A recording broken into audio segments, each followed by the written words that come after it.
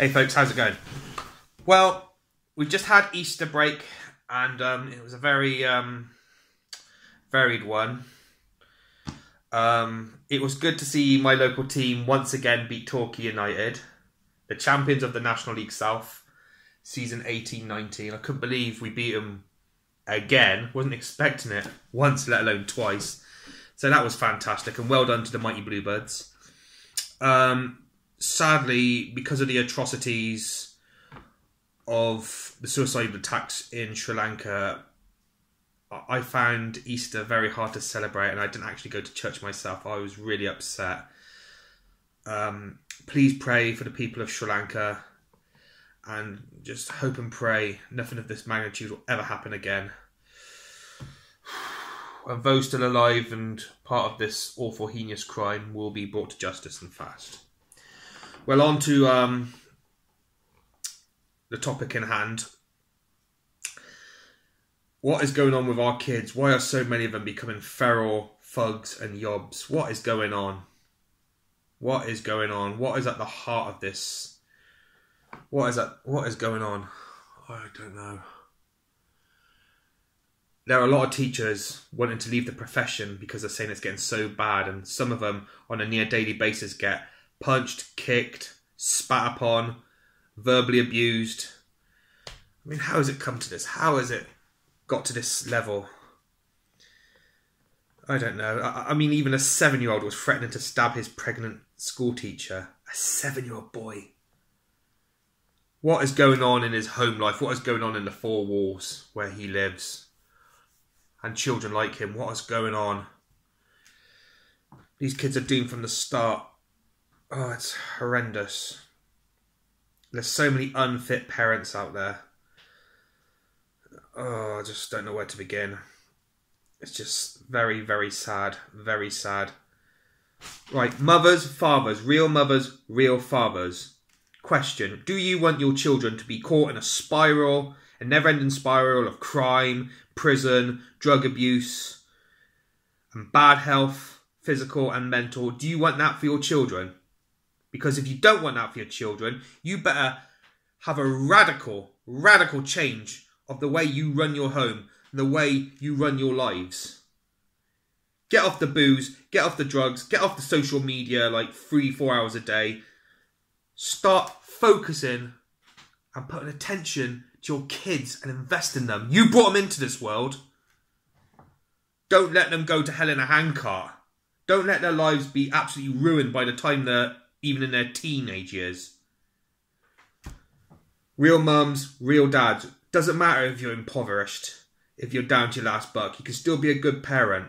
There's absolutely no excuse to be a scumbag, and there's certainly absolutely no excuse whatsoever to abuse your kids. No excuse on earth can justify it at all. Kids, if you're going through a really bad stage, like I say, phone up Childline. There's plenty of support and advice groups out there. Don't suffer in silence. Whatever you do, do not suffer in silence.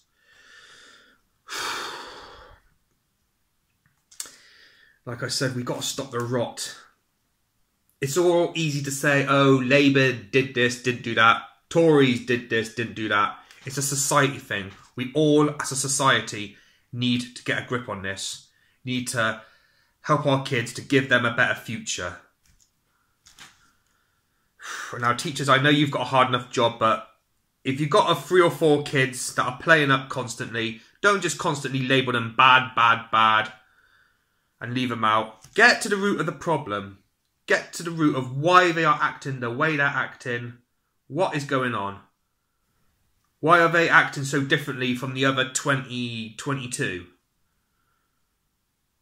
You know what I mean? Instead of using the labels of bad, naughty, disruptive, and just leaving it at that, and then they get suspended and expelled, and then and then they're, they're even more prone to crime and drugs and abuse.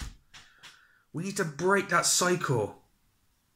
You know, it's going to be too late for most of them by the time they're 15, 16. We need to nip it in the bud when they're toddlers and find out what's going on, each and every one, each and every child. We really need to focus on them. If there's anything out of place, we need to find out why that is happening. Yeah? None of the labels. Come on. Oh dear, oh dear.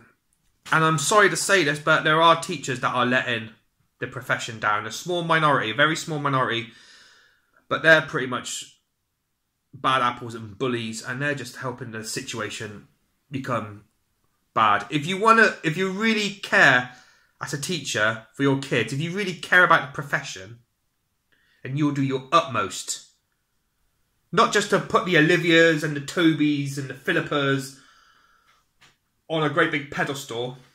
Oh, look at them, look at them. It's about everyone. It's a level playing field. You've got to think about the boys from the hard up council estates. You know, don't leave them behind. Come on. We got to do something. This cycle cannot continue the way it's going. It cannot. And all the 10 year olds in the year 2019, we don't want them in and out of offender institutions and prison in the year 2029. There's got to be a collective effort that involves schools, churches, employers, potential employers. We, we need more after school clubs. And those people that run after school clubs, football, netball, what have you, you're brilliant. You're great people. You are fantastic. And we need more people like them. The government need more initiatives to help our youth out of school life away from the cycle and the viciousness of drugs and people who run boxing clubs, you're fantastic too. Anything, a really good outlet, a really good and cheap outlet for these kids so they don't get sucked into violence, crime, and drugs. We need to all play our part, folks. We need to play our part. Don't let your kids go downhill and don't watch them decline. And don't allow it to be normalised. Oh, that's a chav council estate you know, don't just have that mentality. We everyone can play a part. And let's break this cycle, all of us. Okay, I'll leave it here. Thanks for listening. Thanks for watching. And please subscribe. Please tell your friends about me. All right, God bless. Bye for now.